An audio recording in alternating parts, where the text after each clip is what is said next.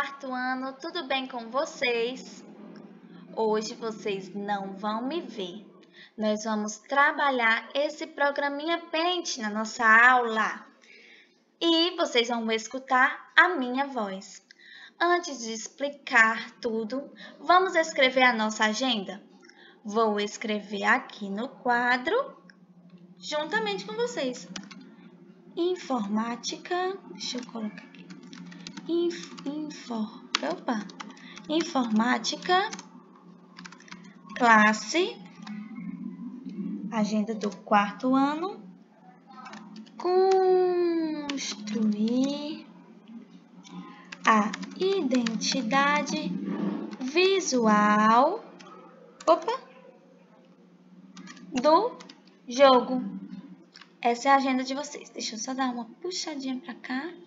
E nós vamos utilizar o Paint, ok? Legal? Está aí a agenda. Você dá uma pausa, tá bom? Para poder copiar a agenda. Deixa eu dar uma puxadinha nela aqui, para ficar melhor. Certo? Então, pode pausar para poder escrever a agenda. Ok, vamos lá. Vou explicar para vocês como será a nossa atividade. Na semana anterior, vocês criaram um jogo e desenharam embaixo. Na parte de cima, vocês escreveram né, como seria o jogo, as regras do jogo. E na parte de baixo, vocês desenharam como seria o jogo, né, o layout do jogo. O layout, gente, é o que a gente visualiza, tá? Todos aqueles designers, entendeu? Bem bonito. Cores. Quando você olha para o jogo, aquilo ali é o layout. Então, hoje eu vou ensinar vocês a utilizar o programa Paint, tá bom? E vou fazer o layout do meu jogo. É uma forma de você com, com, conhecer o Paint e também ter suas ideias para o seu jogo. Caso você tenha um computador, você pode fazer o seu jogo no computador, tá bom? Se você não tiver, não tem problema. A nossa aula de hoje é expositiva. Vocês vão assistir e conhecer esse programa que é ótimo, que é muito bom para fazer desenhos. Então, podemos começar? Vamos lá. Então, vou limpar essa tela e começar o nosso layout do meu jogo. Vamos lá?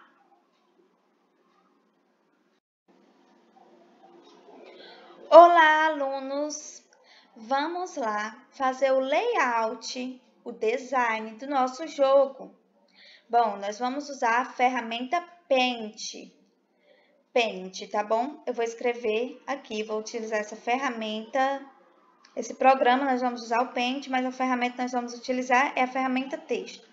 Vou escrever aqui Paint, só para vocês saberem como escreve, tá bom? Para vocês procurarem aí no computador de vocês. Bom, vamos lá. Vou criar a tela de um jogo. Primeiramente, eu vou colocar um retângulo para eu trabalhar dentro desse retângulo, tá bom? Vamos supor que aqui seria a minha televisão ou a tela do meu computador. Aí vai depender do seu jogo. O seu jogo é para computador ou para videogame, né? Vai ser para televisão ou computador. De qualquer forma, não tem problema, nós podemos utilizar aqui a imaginação e criar o layout no nosso jogo. Bom, vamos supor que o meu jogo é um jogo de de descobrir enigmas, de caça ao tesouro, não é? E nesse jogo eu preciso ter as vidas, mas eu preciso criar o um ambiente. Eu sei que você já criou aí no seu livro, não é? Na atividade passada você desenhou. Nessa atividade você vai desenhar no computador, isso se você tiver oportunidade. Se não, não tem problema. Você assiste aqui, vai compreender como utilizar as ferramentas do Paint, tá bom? Esse é o meu objetivo na aula de hoje. Então, vamos lá. Coloquei aqui o retângulo, utilizei a forma retângulo, não é? Coloquei um retângulo. E vou pegar aqui, dentro das formas, o coração. Vou colocar bem aqui em vermelho. São as vidas que eu vou ter, tá bom? Vamos supor que eu começo o jogo com vidas. E cada vida é um coração. Se por acaso eu fizer alguma coisa errada no meu jogo, eu vou perder uma dessas vidas. Caso eu perca as quatro vidas, serão quatro. Caso eu perca as quatro, eu vou dar game over, né? Vai dar game over, vou ter que começar novamente as fases. Então, eu vou criar aqui a imagem do meu jogo. Bem aqui, eu vou colocar um cronômetro. Então, eu vou usar a ferramenta, essa daqui, que é a ferramenta chamada retângulo arredondado. Vou colocar em azul. Olha a cor 1 mudando. Cor 1, gente, é a cor que você vai estar utilizando. Vou já explicar a cor 2, tá bom? e vou utilizar a ferramenta texto para colocar aqui o meu cronômetro. Vamos supor que para cada fase eu tenho 5 minutos, certo? 5 minutos. Eu vou colocar aqui o 00, dois pontos, para simbolizar a hora, tá bom? 5 minutos.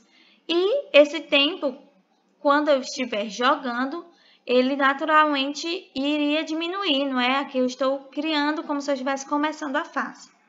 Ele iria é, retroceder. Uns 5 minutos, de repente vai para 4, 3, 2, 1. E zera. Caso chegue no zero, eu termino, tenho que ter terminado a minha prova, senão vou ter que perder uma vida, ok? Vamos lá. É de caça ao tesouro. O que, que eu posso fazer nessa, nesse meu jogo que eu criei de caça ao tesouro? Uma das fases dele poderia ser um... Meu Deus, esqueci... Ah, tinha esquecido a palavra, mas é um labirinto. Uma das fases poderia ser um labirinto, então eu vou criar um labirinto aqui. Vou mudar a cor né, desse retângulo, não quero que ele seja dessa cor, vou colocar um cor laranja, ok? E o meu personagem, eu vou criar ele bem aqui, porque ele vai andar pelo labirinto, né? Então, vamos lá. Vou criar meu personagem, vou já criar o labirinto, tá? Vou criar meu personagem. Meu personagem do meu jogo vai ser um boneco de neve. Vamos supor que o meu jogo Opa, coloquei azul, não quero azul. Vamos supor que o meu jogo se passa no lugar frio, né? Como eu posso fazer isso, gente? Queria mudar aqui o meu triângulo. Porque eu queria colocar um nariz. Um nariz. Como eu vou fazer isso? Deixa eu ver se tem alguma forma de fazer isso. Não sei, vou fazer um nariz normal. Vou utilizar aqui um pincel, tá? Nos pincéis, podemos aumentar o tamanho dele. Vou fazer aqui os olhinhos, olhinhos verdes, o nariz e uma boquinha vermelha. Certo. Vou colocar um chapéuzinho nele, né, que vai ser um, agora vai ser um um triângulo. Ok? Legal. Tá ficando bem bonito, né? Eu vou fazer os bracinhos dele com, a ferma, com as formas aqui linha. Vou colocar o bracinho de marrom, porque é como se fosse de madeira, né? Posso até colocar os dedinhos aqui, ó. Dedinho. Dedinho. três dedinhos. Tem perninhas também. O meu... Não, gente, boneco de neve não tem perninha, né? Então, ó, vou deixar aqui e vou mostrar pra vocês a ferramenta borracha. Bom que vocês já aprendem. Vocês estão vendo que a minha borracha está branca, não é? Se eu vier aqui na cor 2 e mudar, a minha borracha vai mudar de cor. Então, eu vou deixar branca, porque eu quero apagar isso daqui. Então, vou bem devagarzinho apagando essa parte aqui que eu errei. Certo? Sem problemas, olha aí. Show de bola. Vou colocar aqui um cachecol. Um cachecol no meu boneco. Vou usar um pincel diferente aqui. E vou botar um cachecol vermelho. Opa, mudei a cor 2, tá vendo? Por isso saiu marrom. Vou deixar a cor 2 branca, volto para a cor 1, um, mexo na cor 1, um, agora vai sair vermelho. Botei aqui um cachecol. Olha que bonito. Show de bola. E o meu boneco de neve vai andar pelo meu labirinto. Antes, antes de andar, eu quero finalizar o meu boneco de neve. Vou usar essa ferramenta aqui, o balde de tintas, que vai preencher cor. Vou pegar a cor azul, posso até pegar um outro tom de azul, ó, para colorir o meu boneco de neve. Mas eu quero usar o azul mesmo que eu utilizei na linha. Olha só que fofo! O chapéu dele é vermelho, quero que fique vermelho, vou pintar essa partezinha aqui que ficou. Show! Agora eu vou criar o meu labirinto. Aqui tem que ter a criatividade. Vou colocar aqui azul escuro para combinar, né? Já que estamos na neve. Aqui vai ser o começo, então eu vou abrir com a borracha. Já está com a cor 2 branca, então não tem problema. Posso abrir aqui, posso usar a borracha para apagar essa parte. Beleza. E vamos supor que ele vai terminar bem aqui, então vou logo apagar. Pego aqui a minha linha e vou começar a utilizar.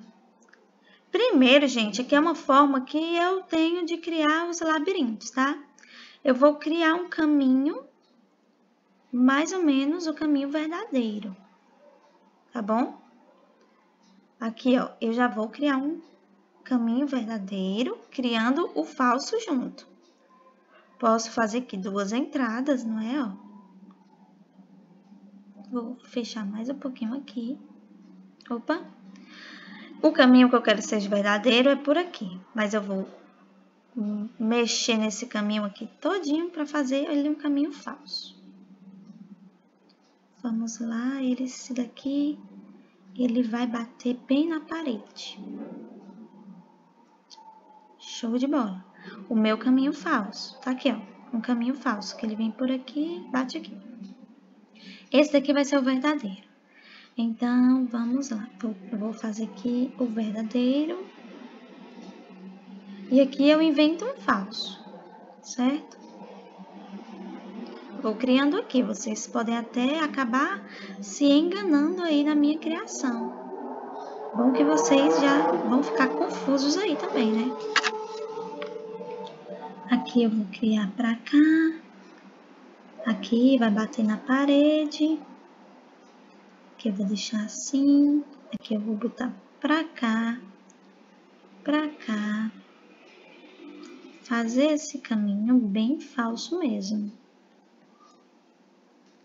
E o meu caminho verdadeiro está aqui, ó. Tchum, tchum, né? Vamos lá para o caminho verdadeiro. O caminho verdadeiro, quero que ele dê uma voltinha aqui antes de chegar no caminho falso, no, no lugar certo. Então, vou colocar isso daqui para confundir. Pronto, fiz a minha fase. Como seria? Como seria meu boneco? Eu teria que passar por aqui. Se ele viesse por aqui, ele ia bater na parede. Se ele vai vir por aqui, se ele vier por aqui, opa, não conseguiu. Por aqui, por aqui, aqui, conseguiu, muito bem ao final eu posso fazer um prêmio para ele.